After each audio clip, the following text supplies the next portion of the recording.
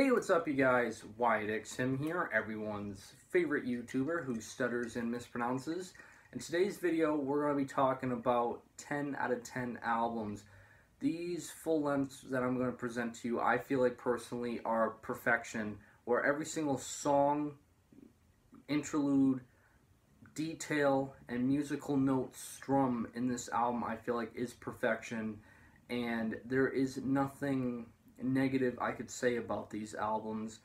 And I was looking through my uh, collection right here of all of them I consider to be 10 out of 10s.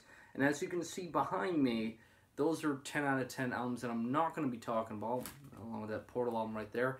I'm not going to be talking about because I've brought them up so many times I think you guys can kind of see where I was coming from with this video. So if you know me personally, you saw those albums behind me coming and we're just going to leave it at that. Those I also consider behind me 10 out of 10 albums, The Amel Throck and The Consolation of the Black Widow, Akitsa's go, uh, debut Goatee or Gotai, Summoning's Minas Morgul, and right behind me Portal Swarth. I consider those 10 out of 10s, but we're not going to really talk about them because those are some of my all-time favorite bands. And I brought them up so many goddamn times on this channel that, you know, it's I'm pretty sure you guys get the idea now of what I think of those albums. But there are other albums too that I've brought up every so often to really never bring it up that I consider perfection. 10 out of 10. Nothing wrong with them. Absolutely perfect. And I can listen to all these albums I'm going to present to you on a daily basis and still have the same emotions and the same enjoyment as I did the absolute first time I ever listened to them. So, further delay, the first one we're going to be talking about, because there's no vinyl pressing for it and the CD's in the car, is Human Serpents. I know it's very dark, but Human Serpents Inhumane Minimalism. I got the shirt I'm wearing right here. And I know, in 2015, I put this, I believe, fifth. But really looking back on that list, I know I said I put OXXO as now take number one, and then I bring up sometimes that I feel like I should have put Abyssal's Antikatastaseis number one, but really, looking back at that list, I feel like now, if there was one albums of the year list I could change, it would be that one. Because I really feel like at this moment in time, I should have put Human Serpents Inhumane Minimalism number one that year. Because out of every album that came out in 2015, if there is one album I listen to daily, weekly, almost all the time, it's this album. Yes, it's only, I think, 30 some, somewhere around like 34 minutes long, I think. But every single track just absolutely punches you right in the gut, knocks you on your ass, and then and then some. The aggression just never gets sickening, and the vocals are just such a standout for modern black metal that it's uncomparable. Just the roar sounds this guy will execute. Human Serpents Inhumane Minimalism. I will say it right here in this video. I should have put that album of the year in 2015. If that's one video I could change, it would be that. So Human Serpents, Inhumane Minimalism. If you want some of the absolute best standout black metal, modern day, Human Serpent, can't go wrong with that band. And I'm watching those guys like a hawk to see what they're going to do next. Now on to the physical releases I got just to help me out. First one, Coldworld's Melancholy 2. Never has an album been so grim and bleak, but just such a standout. It's so cold, but it just pulls at your heartstrings all the time. And the violin work really paints a bigger picture of the bleak, grim atmosphere I think this individual is trying to create. And you gotta be really dead inside not to feel a little cold or a little broken inside, just how melancholic, which the album title speaks for itself, is in this album, to where I lose myself every time with this album. And good luck to him ever topping this or making an album just as good as this. This is nothing short of a masterpiece, and I consider it absolute perfection. And it's kind of like Burzum, bit more DSBM, but just calling Coldworld DSBM, I feel like you're selling him short. He's way more than just that. But uh, Melancholy 2, I consider a 10 out of 10 each and every day. Next one.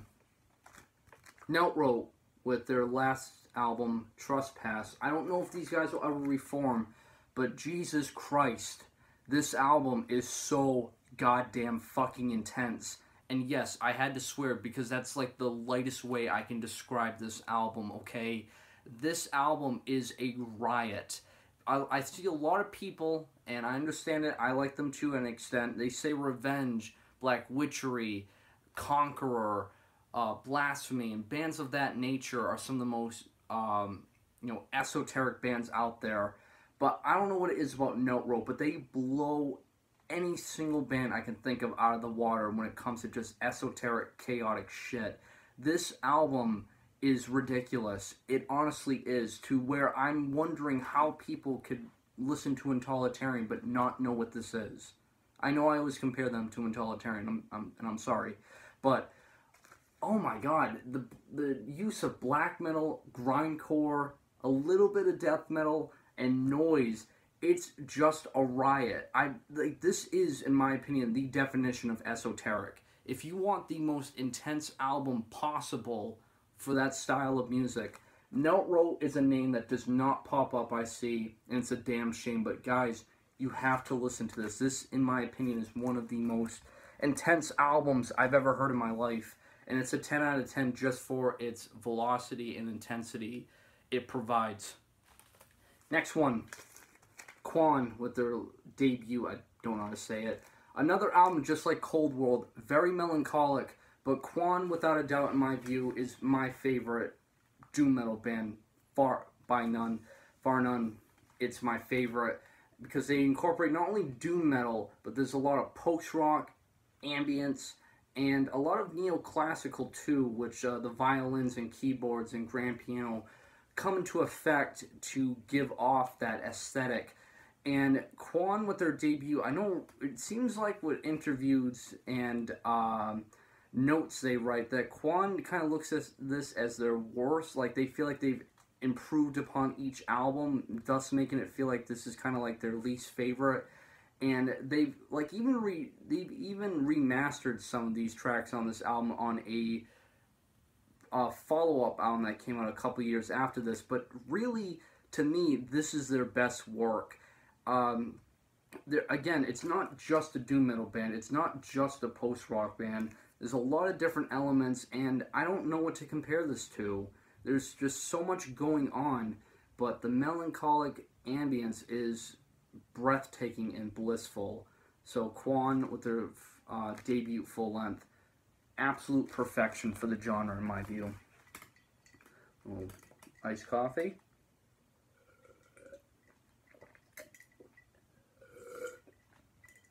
Ah, I keep swallowing the ice cream. Next one.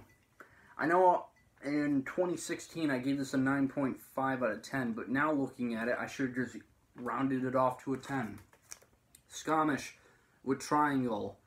The song structure, the compositions, and just the overall layout of how this album was executed is magnificent.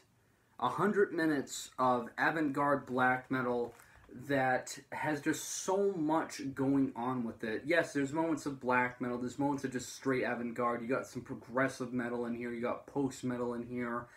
Uh, you got some ambience and drone and some ritualistic ambience during the uh, third part of this album.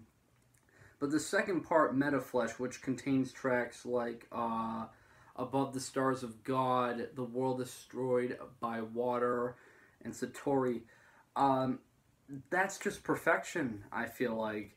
Just the aggression, but the creativity of this album. There's just so much to devour with this, with a hundred minutes of enjoyment, that each minute gives it a point.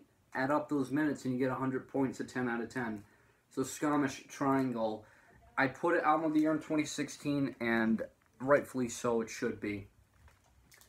Next, my all-time favorite post-rock album, God is an Astronaut, All is Violent, All is Bright. Yes, I know I've talked about this in my post rock from the Postman, which I will get back to doing very soon, but this album may be as as great as it is to begin with.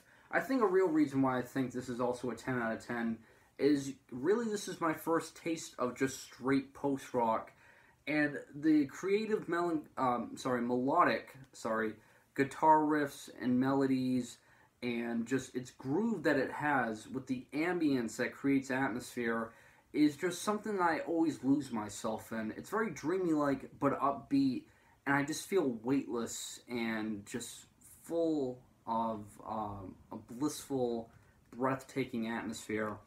And I, I tell people all the time who want to get into post rock, 10 out of 10 times I will always recommend this album right away. So if you want to get into post rock, there's no better album to listen to than God is an Astronaut, All is Violent, All is Bright.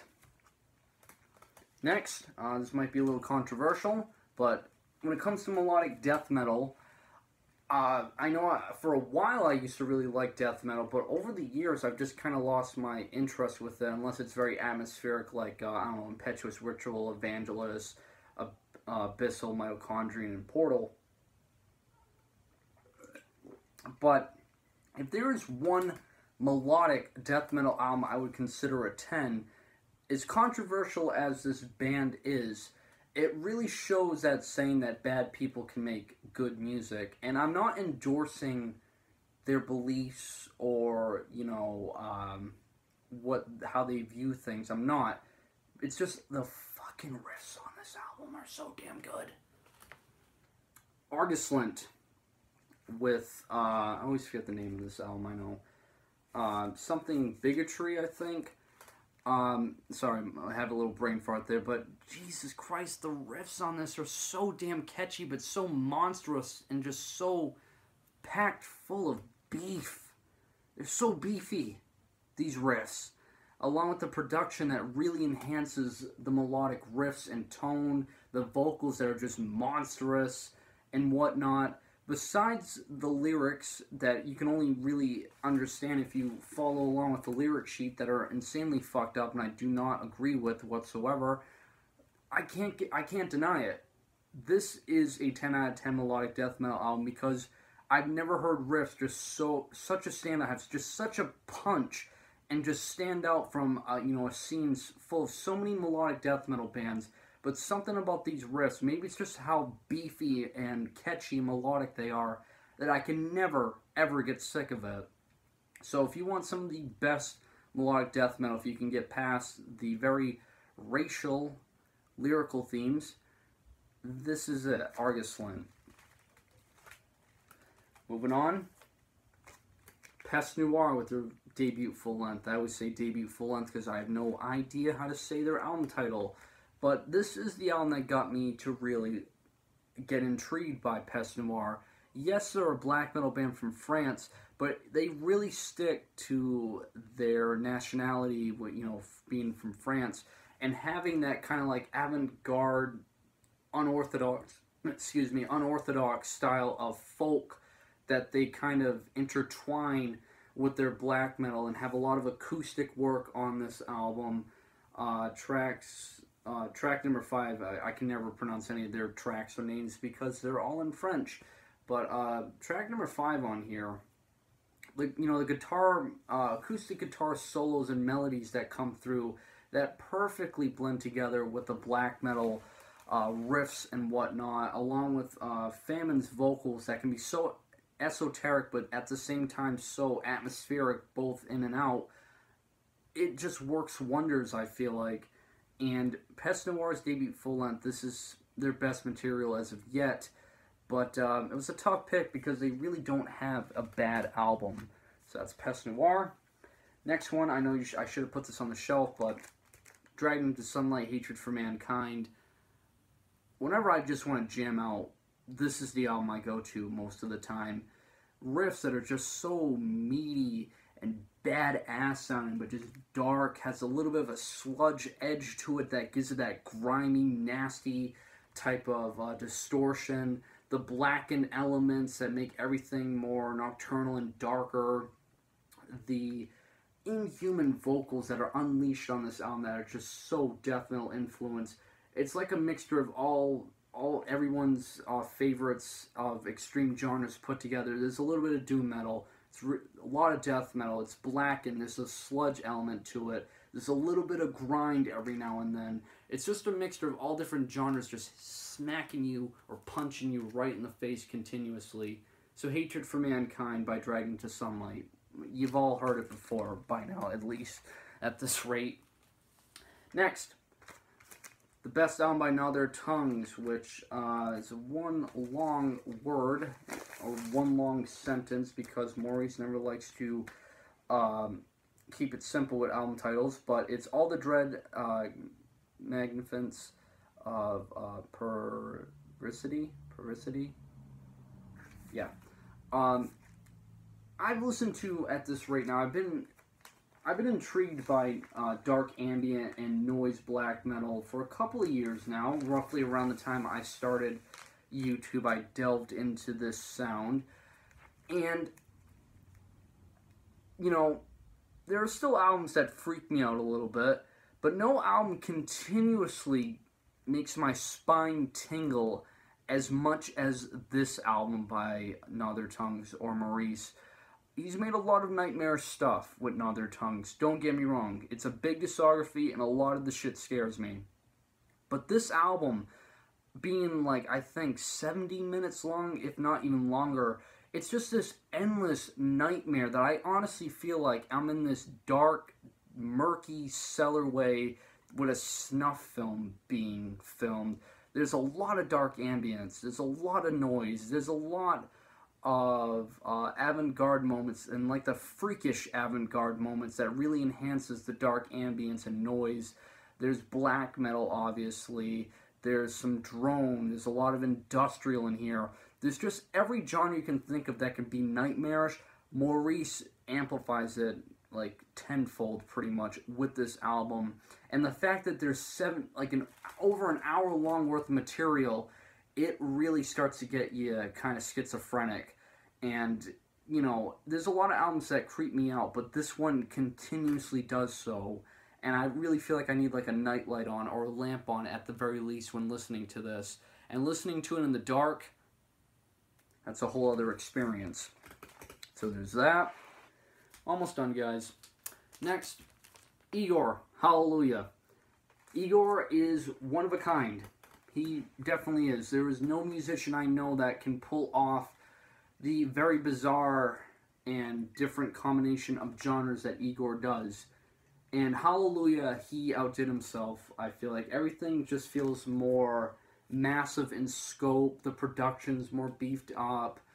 Uh, Lori Lawrence, I think that's her name. Her voice is phenomenal on this album and just every track on here from the opening track, which I can't pronounce to save my life, uh, Vegetable Soup, Lullaby for a Jellyfish, uh, Toothpaste, Infinite Loop.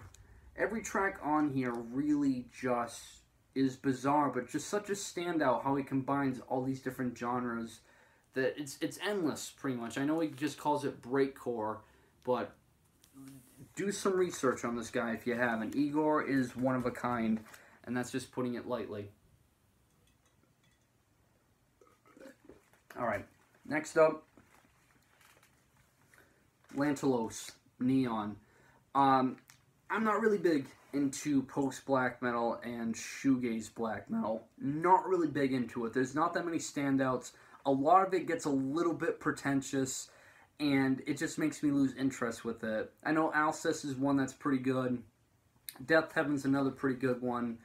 And that's really it for those types of bands that play around with it. But then there's Lantlos. And this album, Neon, which I know the vocalist of Alcest was the vocalist on this band, uh, he outdid himself. He really outdid himself with this album.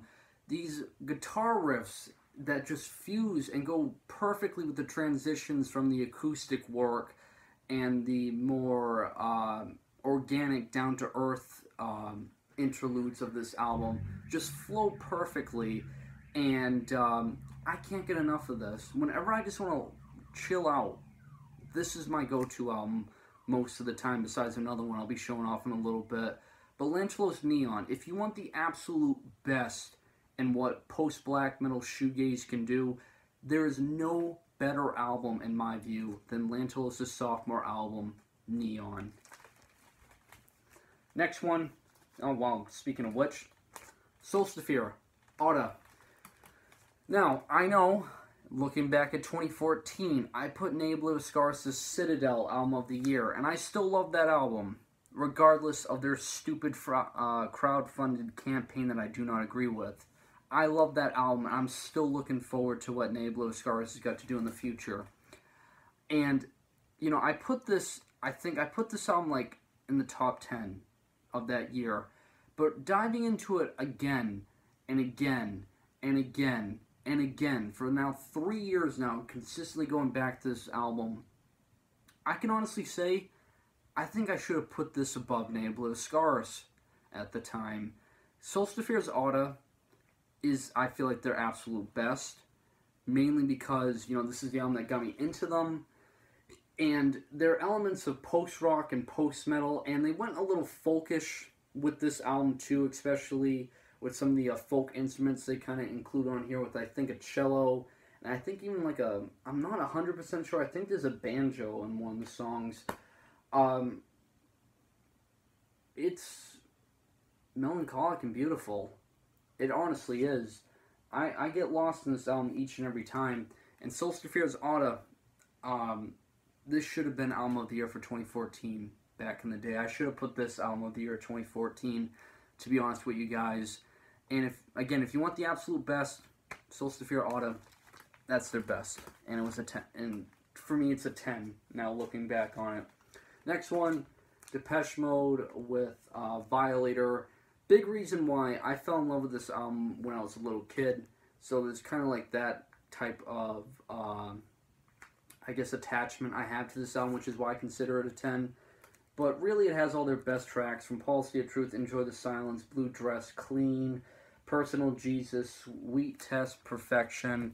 It's a 10 really because I was attached to it for so many years. Next, Diabolical Masquerade with Nightwork. Is that yeah? That's the name of the album. Nightwork. Um, a lot of people look at avant-garde extreme music as it being weird for the sake of being weird, but Diabolical Masquerade with this album Nightwork is an is an avant-garde black metal album, but the avant-garde just makes the riffs just more fun. In all honesty, whether it's just the very bizarre synth that kind of dances around the guitar um, the guitar riffs, the vocalist that just adds so much more intensity and energy to already the very uh, upbeat uh, rhythm they got going, to just overall the really catchy melodic uh, guitar hooks they have. Diabolical Masquerade, this is just a fun as hell album for avant-garde black metal. I feel like we'll really show people that have not checked this out who think avant-garde, you know, extreme music's weird for the sake of being weird can show you there's a big fun factor towards it. And this really proves it, and it's one of the best, most accessible avant-garde black metal albums I've ever heard. So, Diabolical Masquerade. Next, the absolute greatest grindcore album ever made. This is uh, Discordance Axis with uh, the inevitable uh, Dreamless. Yeah, this is the absolute best grindcore album ever, ever, ever, ever, ever made. And I know a lot of people say it, but the artwork is very misleading, as you would think this looks like some post rock or ambient project. But no, this is the best grindcore album ever made. Why? It's the infusion of math rock, I feel like, that these guys will include with their sound that gives off a more technical sound for grindcore, which is not really a word you would use that with grindcore, because when you think of grindcore, you think of just grimy, crusty riffs that are just there to give you a punch, and that's it. But the technicality on here just makes everything so chaotic, a little melodic, but it's just this really technical groove they got going with that math rock influence that just makes it mesmerizing how fast it is. And Jon Chang's vocals, easily some of the best you'll ever hear in the scene, who can execute the highs and the lows perfectly for the genre. This is the 10 out of 10 for grindcore in my view and easily the best grindcore album ever made, in my personal view anyway. Third to last, sorry guys, I know we're already 20 over 20 minutes in. Third to last, Yndi Halda Enjoy Eternal Bliss. Besides God is an astronaut with All is Violent, All is Bright, if there is one other post-rock album I would consider a 10 out of 10, it's Yndi Halda with Enjoy Eternal Bliss. Why? I've never seen some, never heard a post-rock album connect with me just as much as God is an Astronaut's All is Violent, All is Bright. and it's just this really campy sound they got going. But there's a lot of tremolo pick guitars. The violin on here is just mesmerizing and almost too good for words. The violin work on here, it's some of the best violin work I've ever heard in general. And Yndi Halda, this and uh, God is an Astronaut, two of the best post rock bands I think ever. And uh, yeah, Yndi Halda, enjoy eternal bliss.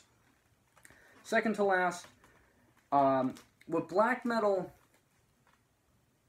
I, you've noticed that's my favorite genre, but it's really hard being obsessed with such a ginormous scene to find 10 out of 10s for just straight black metal. Really, when it comes to black metal, there's got to be like a feature, or a different subgenre though inf- that you know comes into play that makes the overall black metal stand out. But if there is one black metal album I've heard that is just really just straight black metal, no other subgenres into play in here, that is perfection, it's this album. Azelisassath with their sophomore album, Evil Manifestations Against Mankind. I'm I'm amazed. I've played this album so many times and it's not snapped in half yet. The amount of times I will play this album.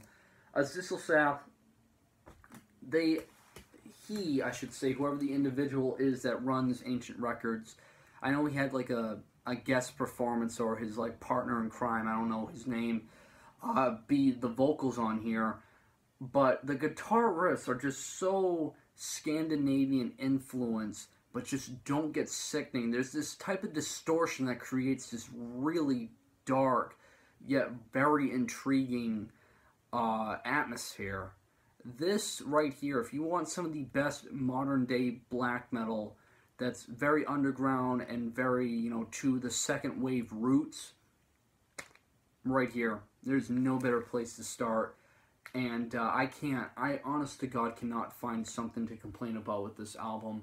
I've listened to it front to back countless times, and I can't get enough of it. And really, all the Azelisassath's uh, full lengths, all three of them are great, but something about this one in particular is just perfect. So, Evil Manifestations Against Mankind. And last one, Cynic, Traced in Air. Now, I know a lot of people kind of dislike this album because there was a lot of hype behind it back in the day because this was like Cynic's first album in like a decade and a half or so, I think. Because uh, Focus came out in the early, like mid 90s and Traced in Air came out in like the mid 2000s. And maybe it's just the fact that this was like my first like album that really like cemented what I really liked about uh, extreme music. And I know this isn't that extreme. There's really no blast beats. There's a little bit of uh, screech vocals with um, the backing vocals. But Paul Masvidal, I feel like, was a genius with this album. There's a lot of. Pro- it's really a progressive metal album throughout. There's no other subgenres that come into play. But it just mesmerizes me just how ritualistic and kind of spiritual this album is and it doesn't get so pretentious or just try so hard to just jam down your throat all like the spirituality it's trying to trying to show. It doesn't do that. It does it in a way that makes it intriguing and welcoming for newcomers and you know veteran listeners of uh, progressive metal. And I know this gets a lot of shit, this album, for some reason on the Metal Archives, which I know it's a dumb reference, but to me, this is a 10 out of 10 because it doesn't overstay its welcome. Tracks range from three, five minutes long at the most, but it's just the guitar work is just so intriguing. It really is. The time signatures on the drums are just so out of the ordinary, but again, intriguing. Just every detail about this album is intriguing, and I've always loved this album. So, Cynic's Traced in Air, the last album on this list, is another album I consider a 10 out of 10.